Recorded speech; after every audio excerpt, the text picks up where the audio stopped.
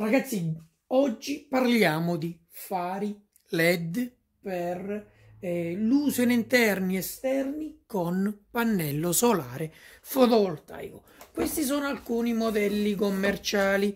Vedi, queste sono celle monocristalline, ok? Questo è un monocristallino, questo è un policristallino. Monocristallino qui ha il suo connettore ok guardalo. Ovviamente annesso al faro. Guarda che bello. Guarda anche quello. Guarda anche quello. Guarda anche quello. Questi sono policristallini. E abbiamo la scheda tecnica su questo. 12 volt 3.85 eh, ampere corrente di, eh, di cortocircuito, questi cinesi scrivono pure male, circuito corto, guarda qua, circuito al contrario ragazzi, non sanno fare neanche una traduzione, ai ai ai, potenza massima 35 watt, tensione massima eh, VMP 10 volt, tensione di cortocircuito di circuito aperto 12 volt, VOC corrente massima e potenza 3,5 A, tensione massima di sistema 1000 volt, perciò possono essere messi ovviamente anche in serie.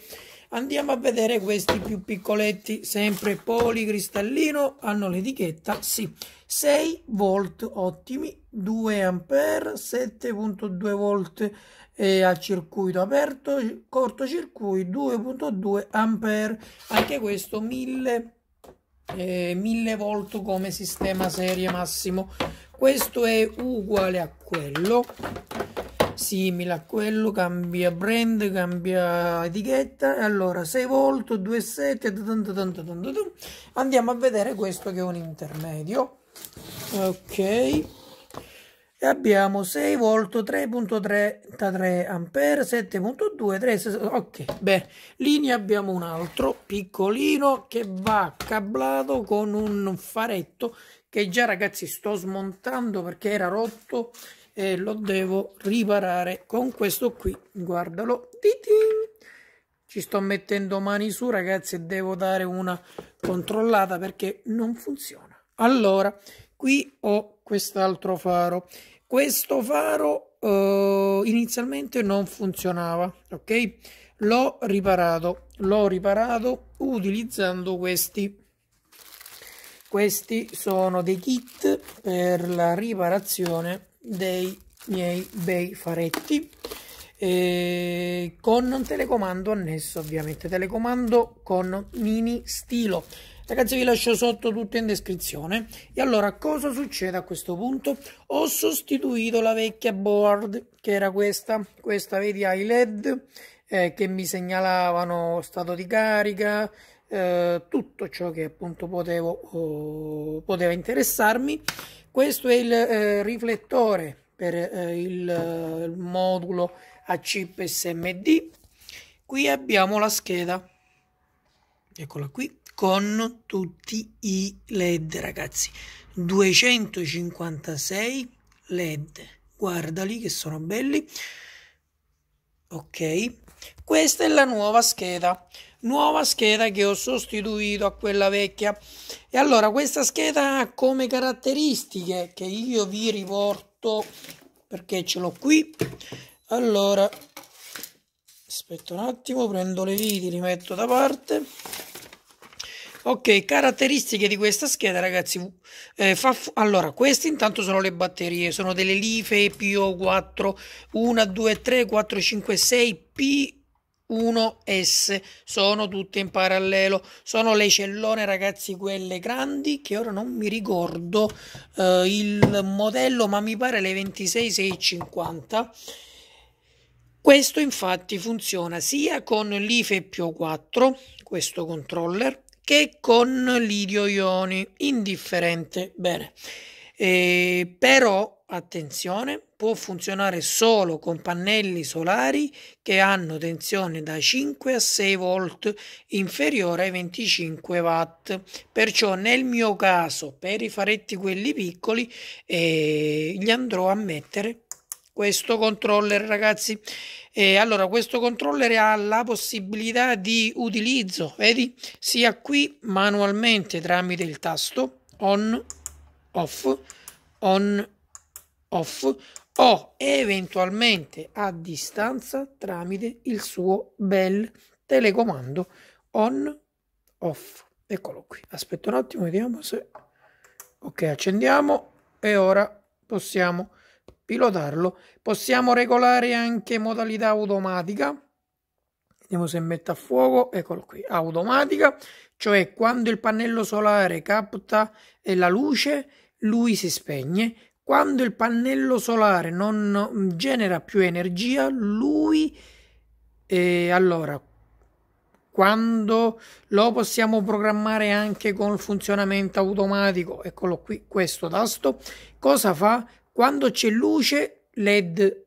Quando c'è la luce del sole i led si spengono. Quando è ricarica la batteria giustamente.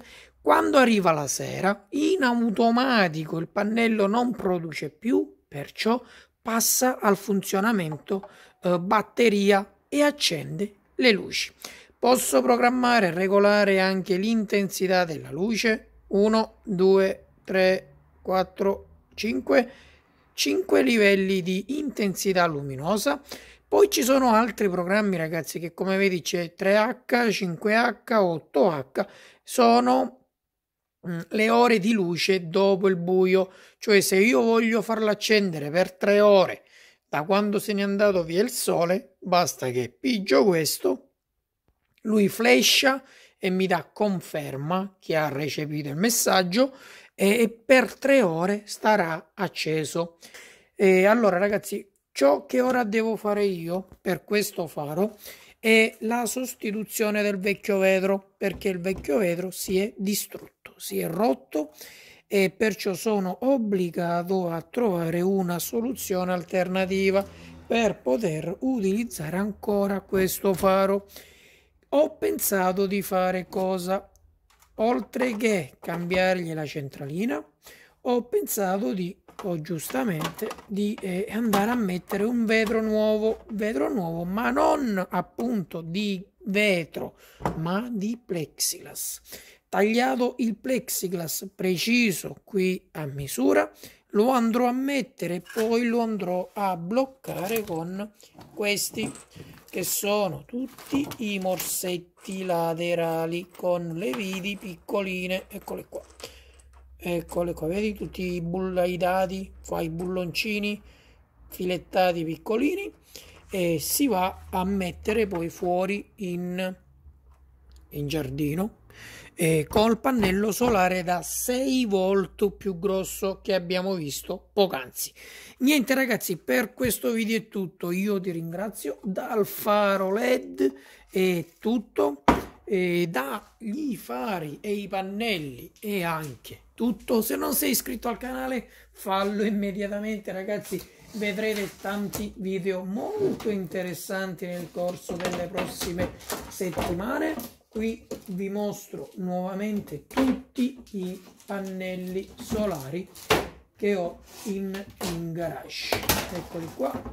Pannelli solari fari led.